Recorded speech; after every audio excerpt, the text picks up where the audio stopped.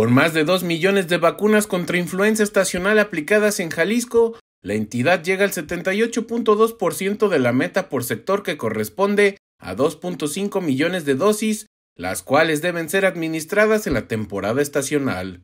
Durante estos días de asueto por temporada navideña, la aplicación del biológico continúa en diversas sedes del primer nivel, como centros de salud y unidades médicas.